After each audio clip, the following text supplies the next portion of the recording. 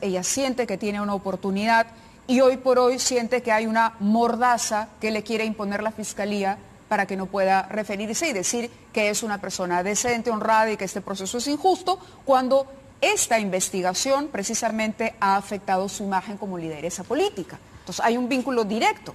Es por eso mi presencia en su programa eh, y recojo palabras de Víctor Cubas Villanuevas, Iván Montoya, y otros más que hacen referencia sobre la dimensión comunicacional del proceso, en donde las autoridades tenemos la obligación de informar a la sociedad y que la opinión pública pueda conocer el desarrollo de procesos de estas características. ¿No era prudente esperar a que, a que pase cuando el plazo que tenía la Fiscalía era mayor? Es decir, ¿no vencía hoy? Mire, es una obligación de la Fiscalía concluir cuando se ha cumplido el objeto de la investigación.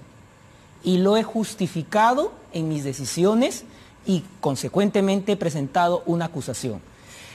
El día de hoy el doctor Rafael Vela, como coordinador del equipo especial, ha dado cuenta de cómo hace algunos meses estaban señalando los investigados, hoy acusados, de que la Fiscalía debía concluir la investigación, que era una investigación eh, extensa o de muchos años.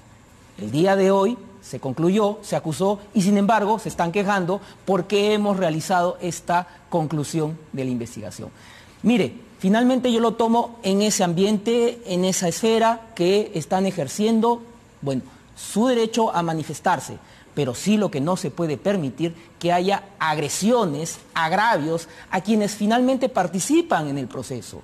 Así como estoy participando como fiscal que va a sostener la acusación y que